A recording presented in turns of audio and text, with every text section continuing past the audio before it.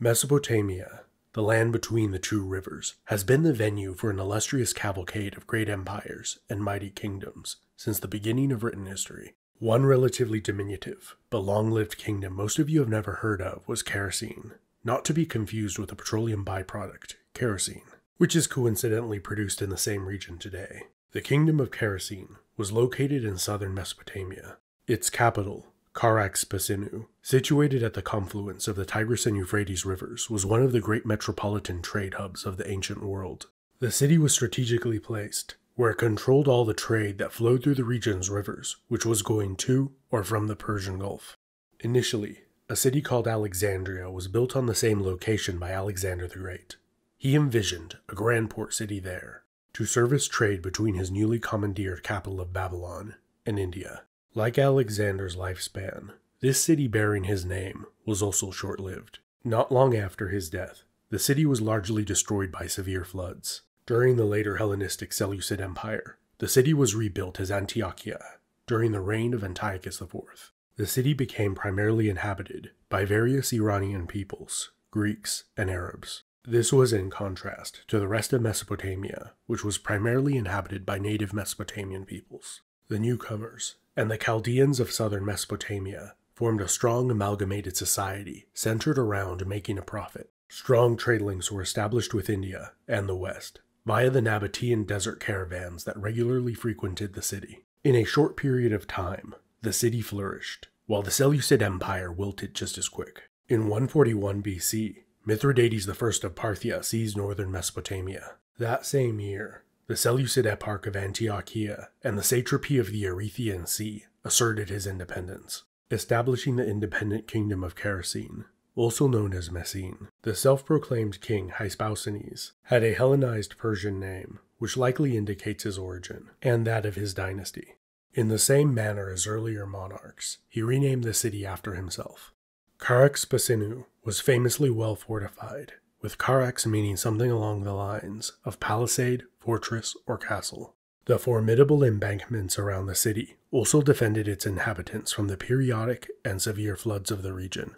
After initially paying tribute to the Parthians for more than a decade, Hyspaosines briefly occupied Babylon before being driven out by the Parthians. Sometime around 120 BC, Characene fell under Parthian influence, as many regions of the crumbling Seleucid Empire put up stiff resistance or tried to assert their own independence. Characene decided it wasn't the time to self immolate. Instead, they successfully negotiated surrender on favorable terms, where a reasonable amount of tribute would be paid to the Parthians annually, in return for their own autonomy. As a nominal Parthian vassal, Characene thrived. It was able to establish its commercial and maritime authority throughout the Persian Gulf, particularly in what is now modern day Bahrain.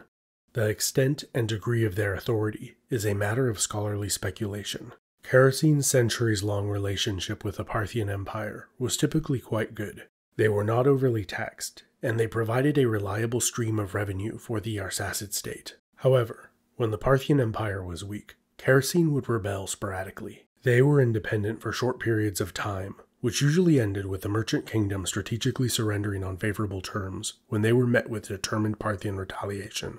In 115 AD, the Roman Empire successfully invaded Mesopotamia for the first time. Instead of coming to the Parthians' aid, they strategically surrendered to the Romans under favorable terms. After the Romans left, the Parthians were pretty pissed at their old buddy, so they discontinued the Hellenized Persian royal family of Characene that had ruled there for over 200 years. They were replaced by members of the Parthian Arsacid royal family. They believed having an Arsacid family member on the throne of Characene would make the kingdom more loyal and integrate its goals more closely with that of the empire. This clever plan was a disaster. The Arsacid family loved to fight with itself, and Characene became the perfect hotbed for insurrection and palace intrigue. Consequently, the kingdom became more viciously independent than ever before.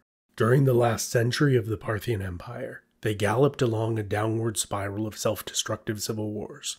Characene was often independent, or allied to the Parthian claimant to the throne. The unstable times were bad for trade.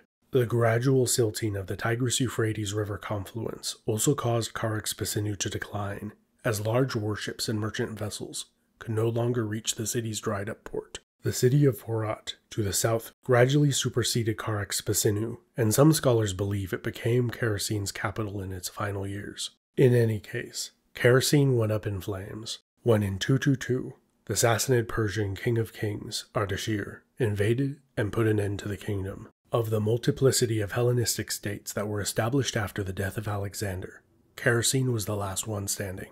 Charax Spasinu was destroyed, and a new city built in its place. And what did Ardashir decide to name the city after?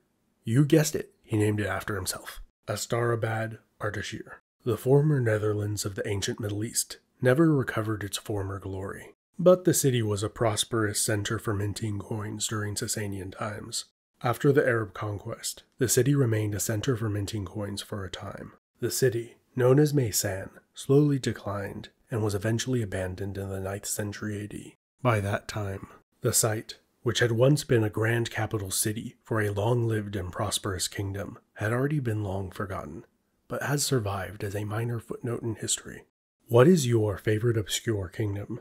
This has been Epimetheus. Thank you so much for watching. And please leave a like.